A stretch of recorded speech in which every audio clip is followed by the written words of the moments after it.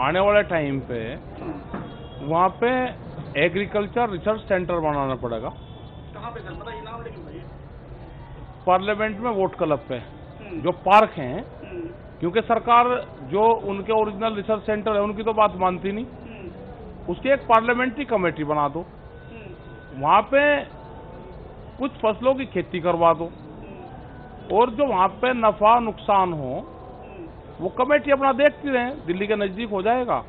और देश की एक पूरी दुनिया में एक पहली तरह की वो बनेगी कि जो कमेटी है, वो मेंबर पार्लियामेंट्री कमेटी होगी। जो उससे लाभ और हानि हो, उसके आधार पर फ़सलों के रेट तय कर दो।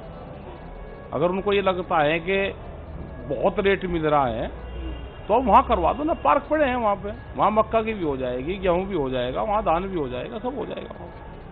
तो पार्लियामेंट में जब आप खेती करेंगे तो क्या मैसेज जाएगा क्या आपको लगता है कि सरकार को वो मैसेज जो आप देना चाहते हैं वो पहुंचेगा? क्यों नहीं पहुंचेगा? हम्म, भाई जब सरकार नहीं मान रही स्वामीनाथन कमेटी की रिपोर्ट नहीं मांग रही मान रही हम्म, तो आप वहाँ पे करवा दो ना पार्क पड़े वहाँ पे।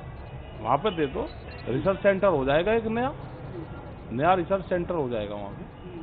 कर दो वहाँ पे। लगता है कि सरकार कानून को वापस लेना पड़ेगा सरकार देखो सरकार ज़्यादा तो इल्ले हो जाएगी अब करे ना।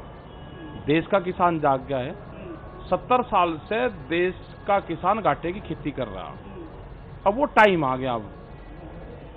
अब इनको जिस तरह से किसानों को लूटा जा रहा है, अब वो देश में नहीं होगा। आसाम का किसान यहाँ पर आंदोलन करने आ जाएगा।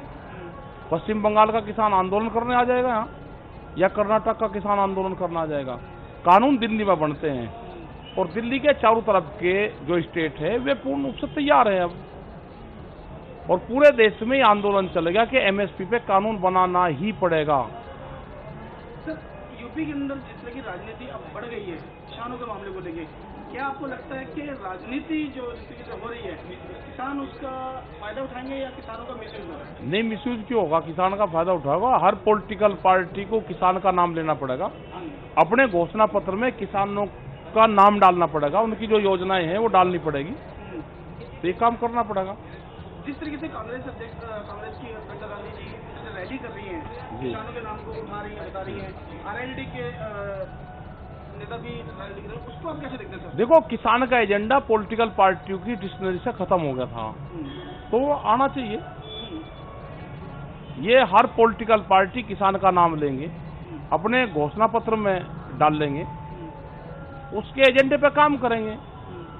और जो घोषणा पत्र में डाल देंगे किसी भी पार्टी की सरकार आती है तो उसको उस पर काम करना पड़ेगा। घोषणा पत्र में तो सर कांग्रेस भी इसके जो कानून आज इस कानून की वापस वापसी की मांग कर रहे हैं हाँ। उस कानून का पहले समर्थन करती थी। और समर्थन करती थी तो चली गई ना कांग्रेस तो। हम्म, भाई पहले बीजेपी वाले साथ थे विपक्ष में हमारे साथ में।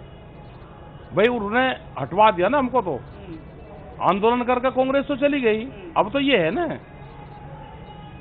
भाई ये है तो काम करो उस पर। हम्म। सर जिस तरह की राजनीति अब पश्चिमी यूपी के अंदर देखने को मिल रही है जैसे कि अभी कुछ दिन दो दिन पहले संजीव बालियान जी के साथ किसी प्रोग्राम में गए थे जहाँ भी थी। उसको आप कैसे देखते हैं? पता नहीं मैं तो भाई मुझे मुजफ्फरनगर में जाता नहीं। हम्म। मैं तो उस दिन से यही हूँ। अब वहाँ का लोकल का क्या होगा मुझे जानकारी नहीं। इसकी कर लेंगे जी आरोप लगा रहे हैं कि आरएलडी के कुछ और क्या पता भाई उनका उनका मामला होगा हमारा क्या मतलब उसमें? से उनका विरोध हो रहा है? आप मानते हो किसानों का विरोध नहीं किसान विरोध नहीं कर रहे हैं जैसा का और क्यों जाएगा मुँह भाई? कोई विरोध कर रहा है क्यों जाओ? हमें नहीं ज़्यादा जानकारी तो गाँव के लोग देखेंगे या वे देखेंगे? वो कह रहे होंगे ना उनको भाई उन्होंने उन्होंने वोट दे रखी उन्होंने तो कह रहे होंगे उनको। अब लोग बुझेंगे तो है ना गन्ने का भुगतान नहीं हुआ। बिजली का रेट उत्तर प्रदेश में सबसे ज़्यादा है। तो ये भी कहेंगे ना उनको उन्हीं को तो कहेंगे ना। भाई वे सरकार में शामिल है।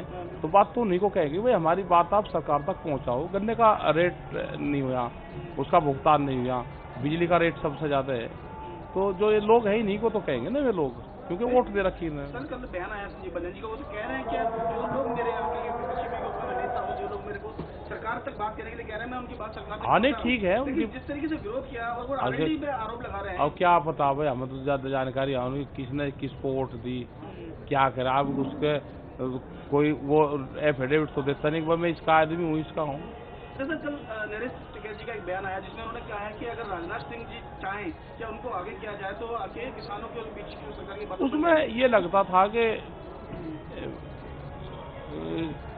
कि उनको अगर इन लोगों से बात नहीं हो रही तो किसी को भी भेजे तो फुल फ्लैश पावर देकर उनको भेजनी चाहिए। हाँ। मतलब किसी को भी भेजे हम्म, तो फुल फ्लैश पावर देकर भेजनी चाहिए। वो कोई भी आए केंद्र सरकार का उसका ये नहीं कि एक क्वेश्चन करा फिर मैं पूछ गाऊँगा हाँ। एक क्वेश्चन गया फिर पूछ कर जाऊँगा। आप जिसको भी भेजो प्रतिनिधिमंडल में उसको पूरी पावर देकर भेजो क्योंकि पंचायती सिस्टम में यही होता है जो जो पंच चुन लिए वे जो फैसला करेंगे पूरी जनता उसकी बात मानती है। नरेश टिकैत जी ने विश्वास दिखाया है राजनाथ सिंह जी के ऊपर कि राजनाथ सिंह जी अगर उनको बात करने के लिए किया जाए तो मामला सुलझ सकता है एक घंटे में मामला सुलझ सकता है। राजनाथ सिंह जी आए तो क्या आपको भी लगता है कि एक घंटे में ये सुलझ सकता है? कह रहा है कि किसी को भी भेजे में हम्म, वे वो तो सरकार का वो है कि वो किसको भेजे हम्म, जिसको भी भेजे फुल फ्लैश पावर दे के भेजे। हम्म। तो अब तक जितने भी लोग बात कर रहे थे आपसे वो फुल प्लस पावर नहीं थी उनके पास। में भी एक क्वेश्चन अगर आप फिर पूछ के आते थे किसी से तो ये है।